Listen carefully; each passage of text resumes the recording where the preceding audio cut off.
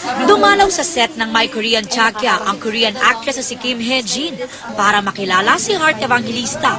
May instant connection agad sila dahil pareho pala silang mahilig mag-paint. Niregaluhan pa niya si Heart ng isang scarf na kanyang hinand-paint. We have a lot of things in common. Yeah, she paint, they both paint. Yeah. I'm so excited. So I hope they'll, they'll go to my house for dinner. I, I will prepare dinner. Salamat po.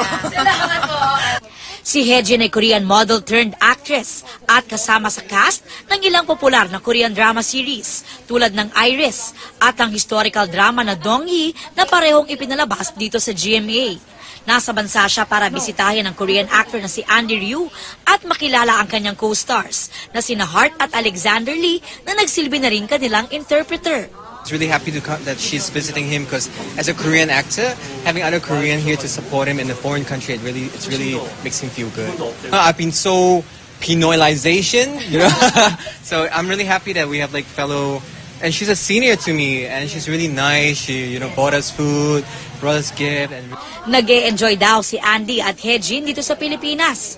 Magkakasama pa nga raw silang nanood ng pelikulang Trip Ubusan sa imbitasyon ng My Korean Chagya director na si Mark Reyes.